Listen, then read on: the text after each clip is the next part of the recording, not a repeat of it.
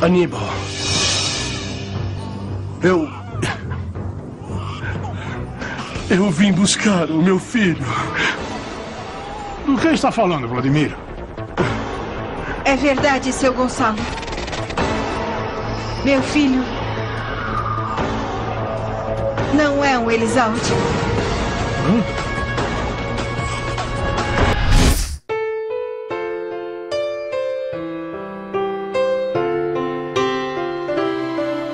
Te pido con el alma que recuerdes que juraste no